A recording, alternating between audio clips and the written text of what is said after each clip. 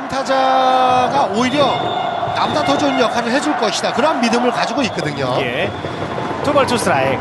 자, 죽여 쭉 뻗습니다. 자, 죽여 뒤로. 죽여 뒤로 그대로 넘어갈 듯. 넘어갑니다. 박병호의 솔로 홈런. 아, 박병호 선수의 정말 힘 대단하네요. 148km. 네. 역시 몰리는 공이 올 가능성이 높다고 했는데 예. 한복판에 높은 쪽에 공이 들어왔어요. 아, 이 센터 쪽으로 직선타. 아, 백스크린을 그대로 넘어가는 홈런입니다. 첫 경기의 첫 타석부터 네, 전 플레이오프 정말 1호 홈런을 기록하는 박병호. 박병호 대단합니다. 자, 마치 홈런이 이 단타처럼 날아갑니다. 지금 네. 이종욱 선수가 맞는 순간에 예. 한 발 정도 뒤로 방향만 바꿨다가 그냥 쳐다보는 상황이 됐거든요. 네. 올렸잖아요. 그렇죠. 참 대단한 타자네요, 정말. 네, 자, 타이밍이 완벽하게 맞았고요. 그렇습니다.